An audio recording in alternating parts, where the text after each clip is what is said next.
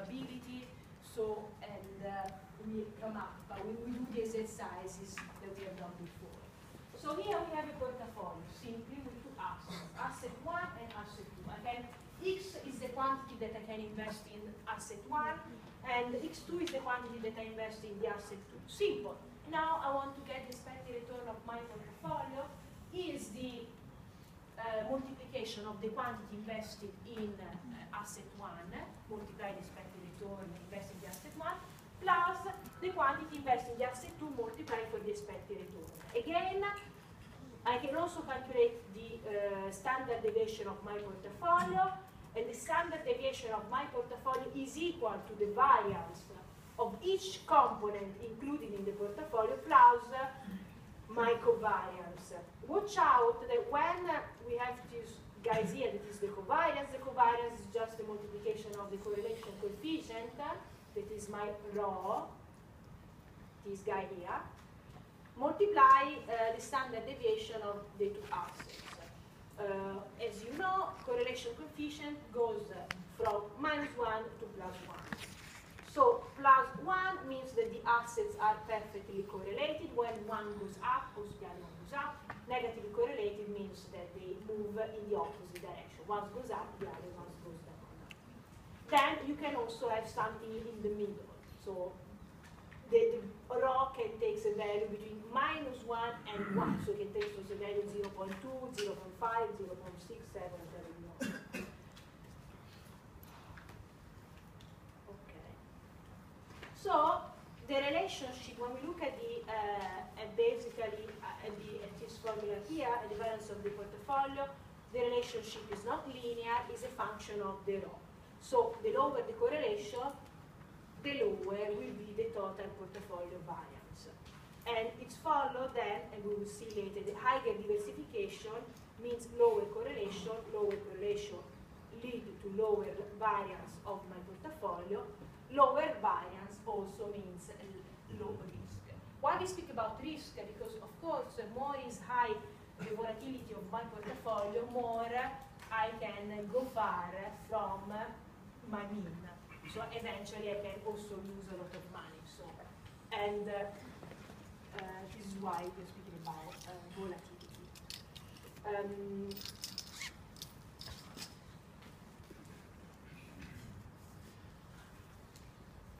okay, we can also, now we can simply generalize the formula. If you have n securities, simply I have to do, to calculate my, uh, my um, expected return of my portfolio, I just need to multiply the quantity invested in each security for the expected return of each security. While for the variance, I will have, uh, I need to calculate n variance and n minus multiply n, uh, n multiply n minus 1 covariance. Uh, this is an example.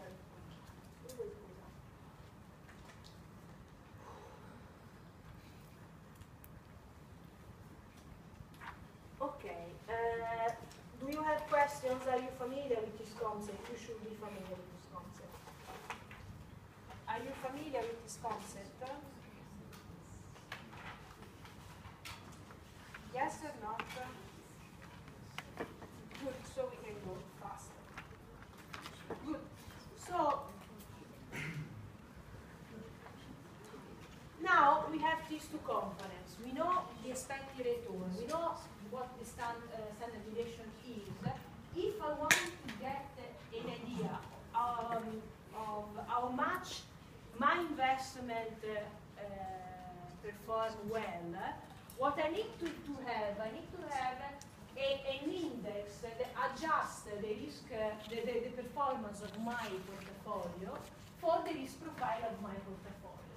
And this is uh, basically the Sharpe ratio, where I have the risk premium, where the risk premium is the difference of the expected return of my portfolio minus the risk rate, okay? And this is the reward. So basically this difference gives me a, a, measure of the reward from having in, for, a, for a risky investment. So how much I'm, I'm, I take a risk, how much I'm I gaining from investing in a risky activity. This is the difference. Then I just correct this quantity for the standard deviation. So this will provide me with an information of how much is the performance given the risk. I just provide for the standard deviation of the excess. We know how to calculate this. We know how to calculate the standard deviation because uh, the formula that we saw before. So we can also calculate the standard deviation. Simple.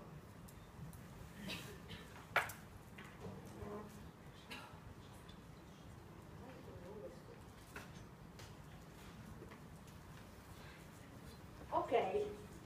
Now the point is when I have to take uh, this, when I have to make, when I have to decide how to invest my money, what I, what are the information, the basic information that I need? I need to know the um, expected return of my portfolio, my investment, the standard deviation, but then what I need to take in account? I need to take in account a different risk attitude of each individual person. So there are pe persons that are more uh, risk averse, so they, they, uh, they don't want to take too much risk, so they prefer to get a little less if they have to take too much risk. And there are also persons, of course, that uh, instead uh, are willing to take risk in order to gain more money. So there are, of course, um, different uh, types of um, utility functions. So you, how you, now, so given a different risk attitude, I need to get a formula, mathematical formula that allow me to measure and to uh, formalize this risk behavior, risk attitude of uh, each person. This is basically uh, what um, what we lead as to the utility function. So the utility function basically is a can be can take this form. Doesn't mean that all the utility doesn't mean that all utility function has this uh, formulation. This is just an example. One mathematical function that is usually a common, commonly used uh, for this type of, uh, in this type of, in, for this topic. So here, I, the investor use their own utility function to rank different investment opportunities and then decide which opportunity is more convenient given their own risk attitude. So here, I, uh, what I have, I have the expected return minus a coefficient that is standard, A, and my standard deviation. A, basically, it's a measure of the, is a coefficient uh, um, that allows me to measure the uh, risk attitude of an investor. So, for example, if uh, A is equal to zero, this means that the, uh, the guy is risk neutral. And if A is positive, this means that an investor will only invest in a, in a, in a, will invest the money investment only if the uh, risk premium, so the difference between the expected return of investment and uh, the risk rate is positive, and A equal minus than zero, instead it's a risk uh, lover. Why? Because if you put this guy as negative, as you can see, the utility of a person became a positive function of the volatility. So this means that the person is seeking to take more risk because the utility that is that uh, the utility uh, of an investment for that person is going to be higher. So utility means that it's a function, more is high, more means uh, that is uh, the utility that you can get from those investments. So in the case of risk lover, as again, a negative value will make uh, positive the impact of uh, volatility that is a measure of risk. So looking at, for example, a simple example here, we can have a risk investment with expected return 22%, stand, standard deviation 34%, and then I can invest a money in a T-bill. Remember, we spoke about the treasury bills this morning. Treasury bills is a measure of risk-free investment, money market, short term. So in this case, how we can use the utility function to make it, to, to, you know, how an investor can make use of uh, the utility function to decide when to invest the money. So basically, just substituting the information so utility of the risk-free rate is factor, of course, because uh, the volatility, by assumption, a risk-free rate means that do not have any risk. So the standard deviation is going to be equal to, to zero. So in the case of, if in this example, uh, my treasury bills is equal to 5%, this means the utility of an investment in risk-free rate, in the risk-free rate is going to be equal to 5, okay? Because this component is going to be equal to 0, because this guy is equal to 0. Then, I just substitute the expected return, the standard deviation of my investment in my utility function, and I just change my A, that is the coefficient of uh, risk aversion. So more A is higher, more you are risk averse. Okay? Why? Because uh, if you go back, sorry, if you if you look here at the formula, more A is becoming is becoming bigger, more the expected return of your investment is decreasing, so also you, your utility function is dropping down. So the utility of investing in, in that asset is becoming low because A, so are more risk averse So more this became bigger, more this quantity is negative, became bigger, more the perceived, so the, the, the expected return that I perceived to get is going to be lower. Is going to affect my utility function. So if you look at this example, the only guy that will invest so in these uh, risky assets is the guy with a very low A. So more with low risk aversion. So only the investors that have a low risk aversion will invest, will prefer to invest in these uh, assets. Why? Because if we, we mathematically uh, substitute the expected return, the standard deviation, and the A of my uh, investor, you, you will see that the utility function is higher than the utility of investing in a risk-free rate. For all the other investors that have a higher risk attitude, you will see that the utility of investing in a risk-free rate is higher. So this means they will, they will prefer to put the money here than here. How do you think that I can calculate A? Because of course A, we just, in this example, we have 1, 3, 5. So suppose that you are a, a broker and you have to invest the money of your clients. You need to understand how much risk the guy, the, your client is willing to take given the Uh, payoff of your investment. So how can I get A? Mobile, please. How can I get my A An example, if you want to know the age of one person, what do you do? It's a number, but the number reflects your risk attitude. How can I know if you are risky or not? If, if you are, how can I know your risk attitude? Huh? It doesn't matter the market because it's individual. Each investor may have a different A than you. You have a different of course, uh, there are some quantitative information that I have to take through income, uh, family, family situation, but also, so basically, you can get the A of your client through questionnaires. Okay, asking questions. So, of relating to the personal situation, but also to other, uh, other. So, in, in, the book, for example, I can, I think that there is an example of questionnaire. Let me see if I can find it.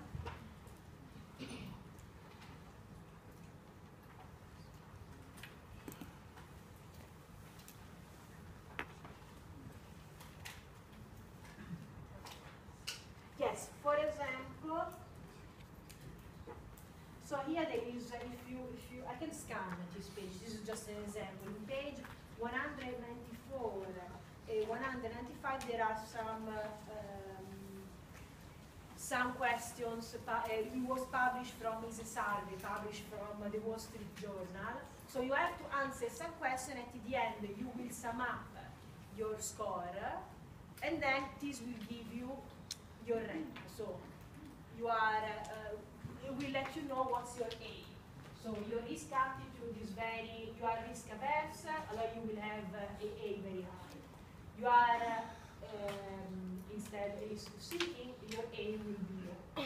So it depends on your risk attitude that you can get uh, through questionnaires or other stuff. eh, you will be able then to select and to compare different investment opportunity and decide where to the money. Okay.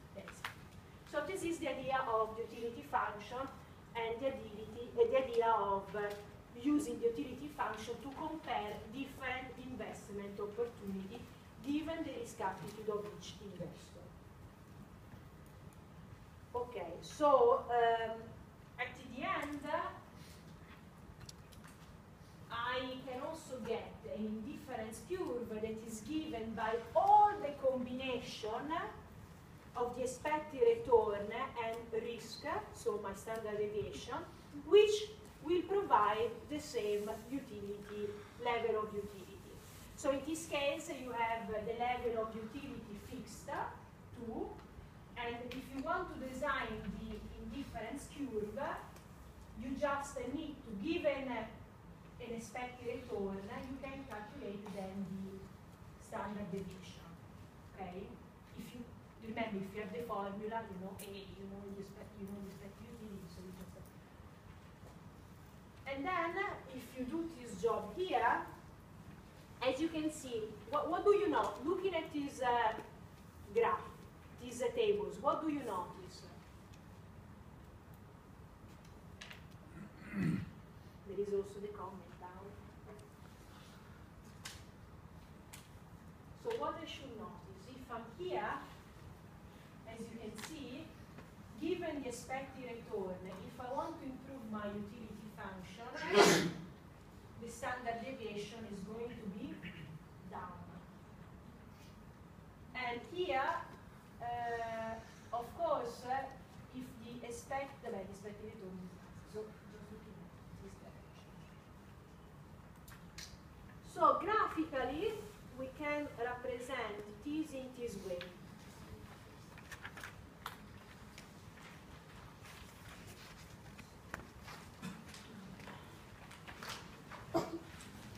This means that if I want to get, uh, uh, if, if I want to get the same level of utility, as you can see here, so this is my utility, okay? If I increase my risk, uh, you have my standard deviation. So if I increase the risk of my investment, of course, uh, I want to get an expected return higher.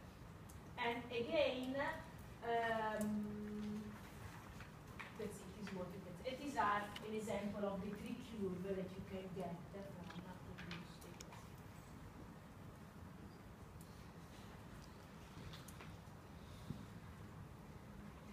Okay, so now we know the basic concept. We can go, we can see how we can uh, combine, uh, how we can invest our money in different type of assets, risky and risk-free uh, portfolio. Um, and let's go here. So now we supposed to have a, com a composition of P and F already decided. So now you, we are not looking at how you select P and F. Given the fact that you already select P and F, simply I can get, as you know, the return of my complete portfolio as a multiplication, as we saw before, the return of each asset multiplied the quantity invested in each asset. At the same time, I can also get uh, the so I can get expected return. I can also get the standard deviation of my portfolio. Of course, the standard deviation of my portfolio doesn't have, does just have the standard deviation of the risky portfolio. Because as we said before, the standard deviation of the risk-free asset is equal to zero. So here I have uh, a risk-free assets, F. The standard deviation of my complete portfolio is only given by risk of the risky assets. So if I just take this equation here, okay, so if I take this equation here, that is simple, it's just, uh, I just rewrite uh, through a simple algebra the expected return of my portfolio as a, and I can express the expected return of my portfolio as a function of the risk-free rate plus the investment epsilon multiply the difference between the expected return of my um, uh, portfolio, risky portfolio minus the risk-free rate.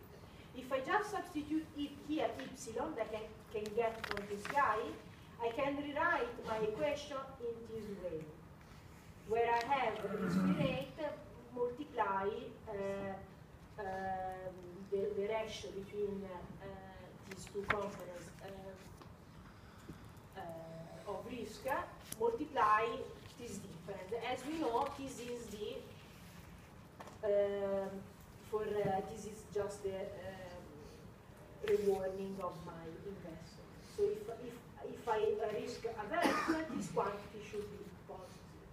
so keep in mind this because now we just uh, do substitute the number. So if you have the number, you can also get, uh,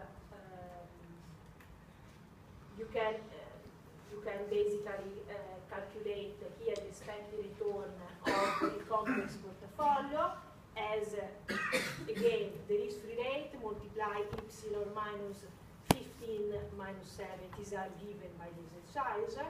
I can also calculate epsilon, rewriting my formulation in this way, where I have uh, uh, SP, that I know that is equal uh, to so at the end, what I get, I can rewrite my formulas in this way, so 7 multiply uh, 8, that is the difference between 15, the expected return of my risky portfolio minus the risky rate, divided 22%, that is this guy here, okay? And then the only stuff that I don't know is this uh, uh,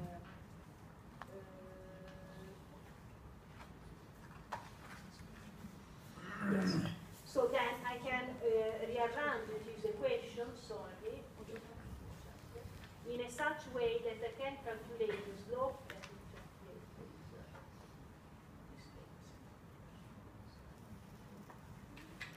Yes, sigma.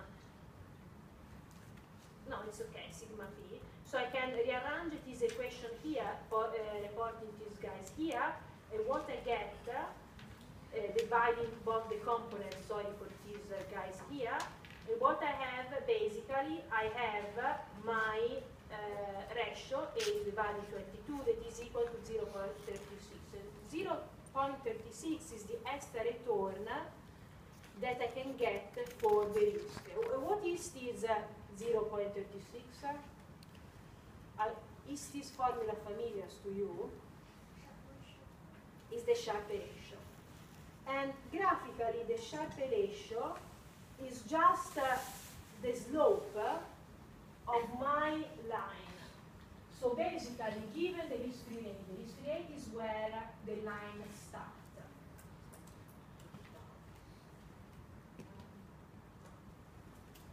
Uh, so this is the risk-free rate. Then I have uh, the coordinate, here I have the standard uh, deviation of my portfolio is equal to 22%. Here I have the expected return of my portfolio that is equal to 15%. This is my reward. That is the difference of the expected return of the investment portfolio P minus the risk rate. And this is the ratio between 8, that is the, the difference between these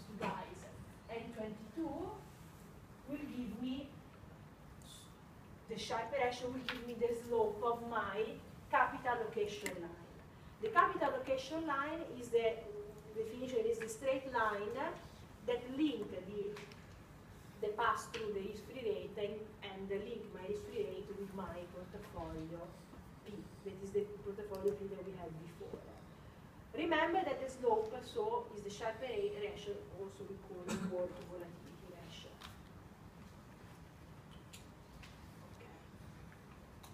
simple, you just divide the two part of the equation for sigma c, okay, get uh, this guy here.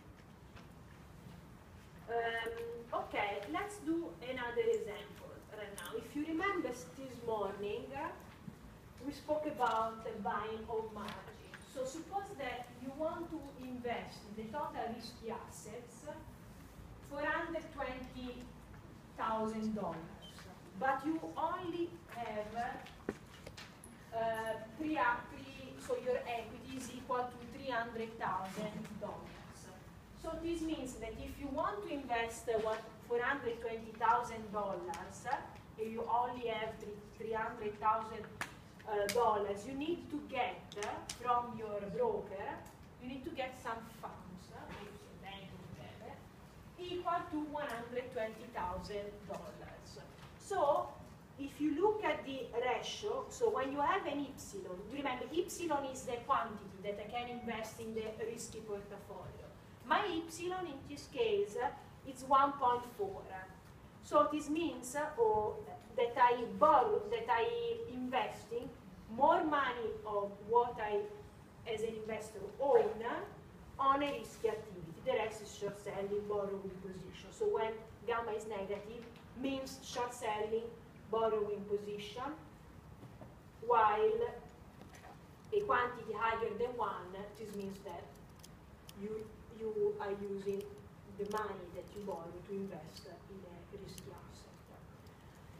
so again, the same formula that we had before, we can suppose that the risk-free rate, this is what we got before, remember 0.36 in the example before, this is the slope of my equation.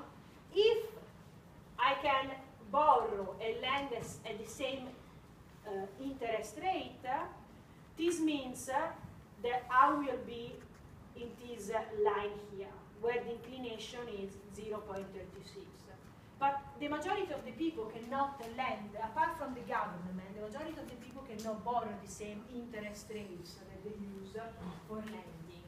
So here, until P, this means that you are using your own money. You are not borrowing anything.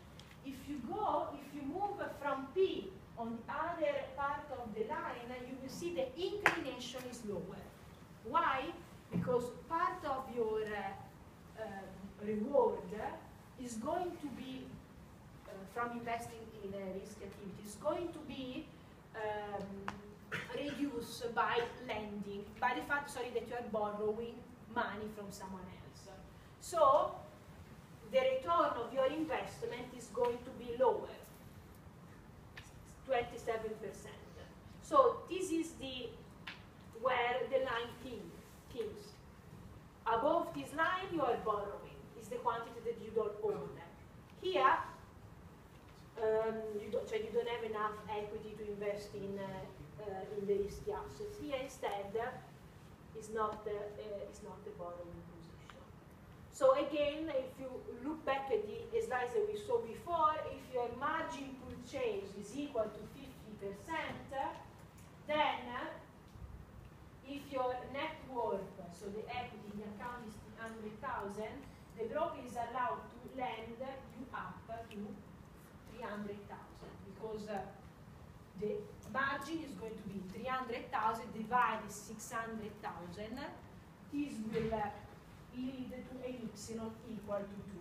So if you want to know how, how much money you can invest in the risky assets, you can invest a quantity equal to 2 if the margin with your broker is equal to 50%. Because if uh, the margin, uh, suppose that you invest 2.5, this means that you are borrowing too much money and you have to put more cash, more equity. So if you look at the slides of this morning, you will uh, you will, uh, you can also this. Uh, you can see again uh, how you calculate the margin. But if you remember, ma the margin was the equity divided the total amount of investment. So.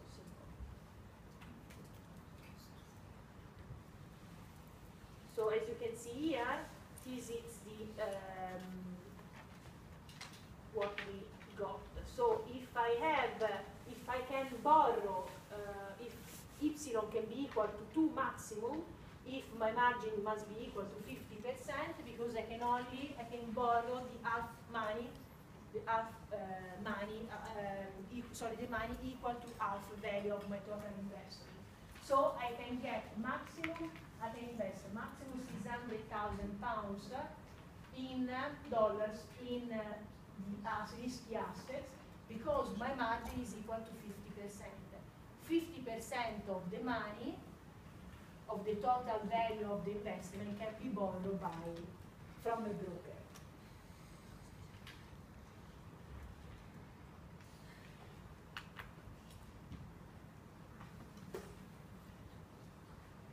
Let's finish these and then we have a break. Okay, so now we are start to, link all the concepts that we saw this morning and the previous concept. So right now I have the expected return of uh, an investment in a risk-free asset and in a risky portfolio.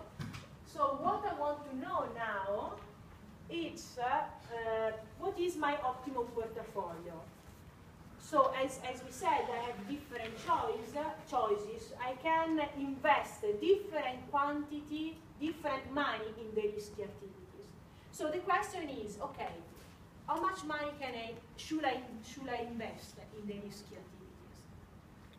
Of course, in the example that we saw before, there is a limit. I have to invest less than two because my margin is equal to 50%. Nobody will borrow me more than three 100,000 pounds. But now, below than 2, how much must, must be my epsilon? Of course, uh, to measure the quantity that we want to invest in the risky asset, we need to take in account uh, the risk attitude of every one of us. If I'm more risk averse, uh, should I invest more money in epsilon or less money in if, I, if I'm more risk averse, if I have to put the money in a risk-free asset or in a risky portfolio, where I should put more money? In less money in the risky asset, in the risky asset, more money eventually in the risk-free asset. If she if she's risk seeking because she's crazy, she's young, she don't care, whatever, she will put more money in the risk-free asset or more in the risky asset. So this means that your epsilon is going to be lower or higher?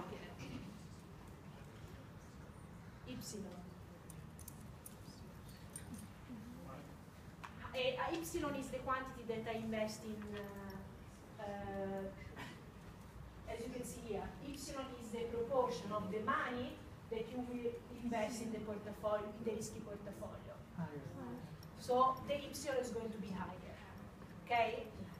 So now we are understanding what these uh, numbers are.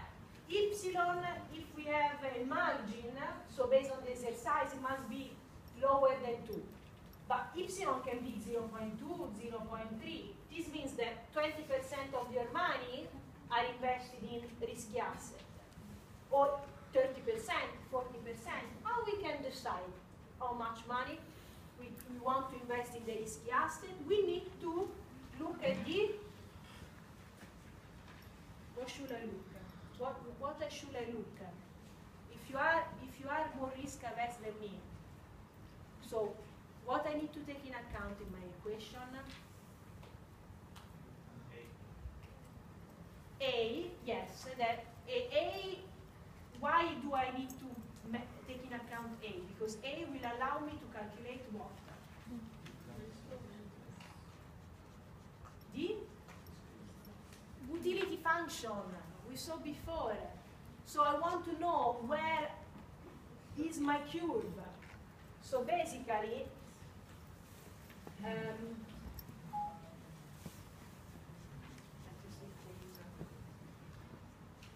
is this. So depending on my utility function, okay, that is a function of A, depending on this, I will, uh, um, I need to find out where, what is the, the, the, the, the let's say, utility function that fits with the investment, with the capital allocation line, it is the combination of my risk-free assets and uh, risky portfolio. So in this case, uh, I want to find, um, graphically, uh, given different cubes, I want to find this tangent, tangent point. Why? Because if I'm here, given the same amount of risk,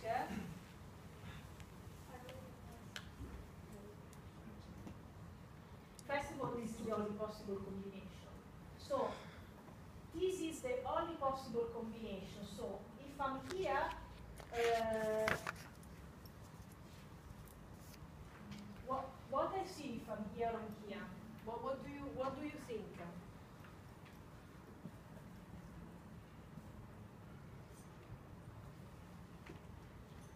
So I have more utility function, this is providing with higher utility. So instead of being here, if I'm here, so if I adjust the combination of uh, the quantity that, that I can invest in my portfolio, I can get a higher utility.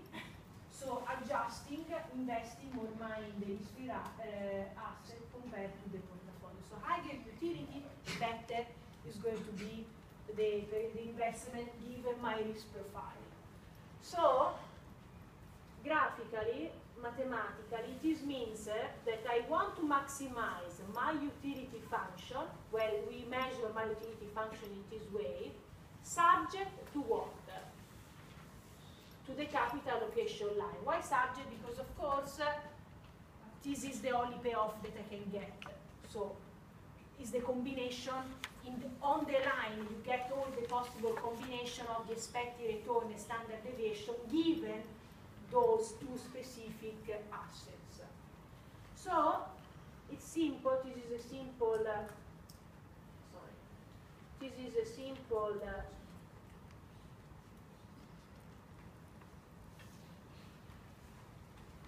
maximization problem.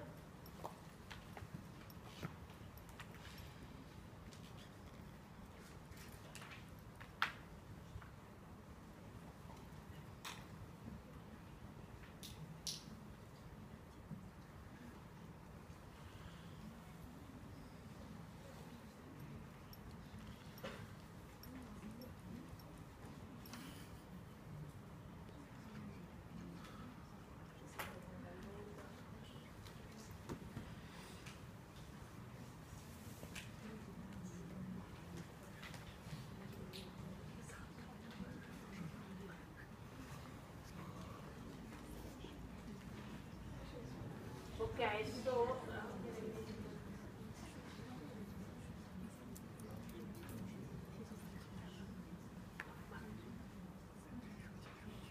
can you see this motion?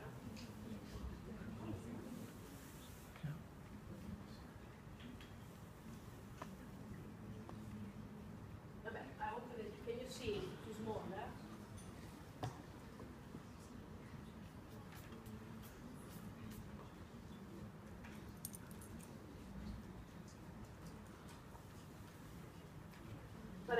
So basically, uh, here, this is my utility function, this is my constraints. So I just substitute these constraints, as you can see here, in this equation here. So this means that if I go here, I can just substitute these guys here, I can put here, okay?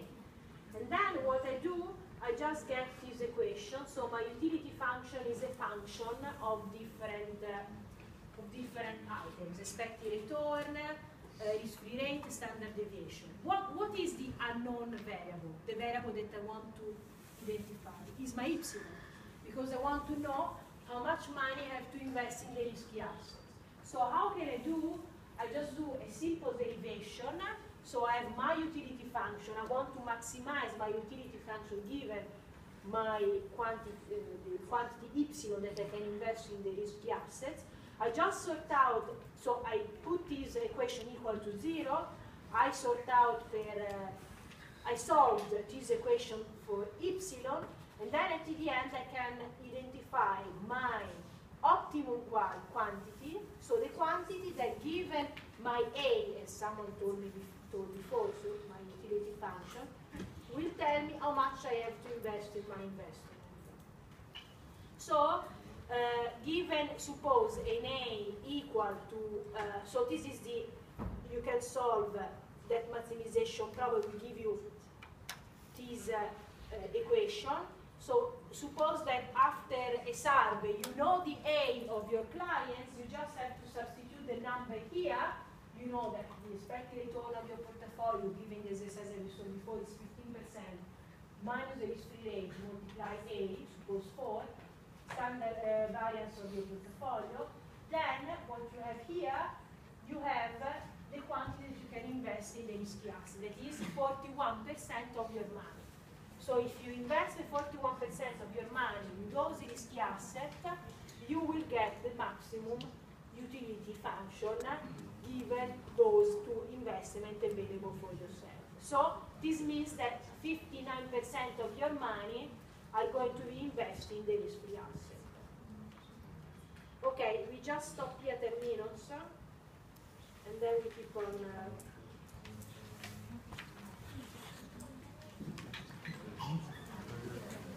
then we start with a couple of exercises together, and that will be